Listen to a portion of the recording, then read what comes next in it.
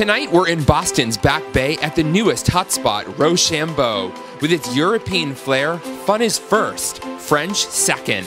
The Back Bay is back.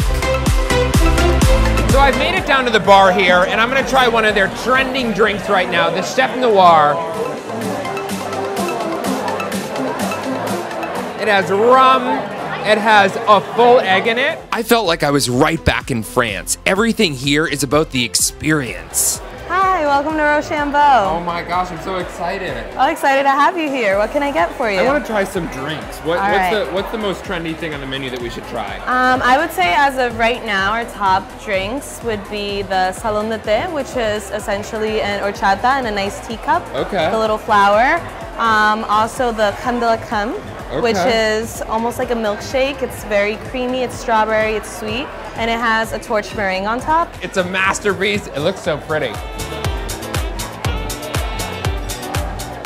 Yum.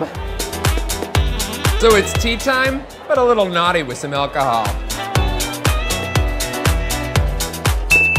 Ooh, that has a, a bolt. Woo! For appetizers, I tried the flatbread pizza. Then, of course, I had to try their famous French onion soup.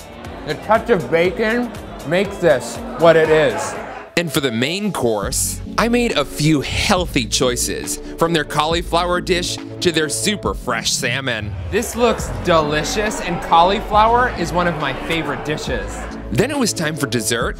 Tonight, I decided to indulge in some sweets. Next on the menu are profiteroles. I'm excited to taste these little morsels.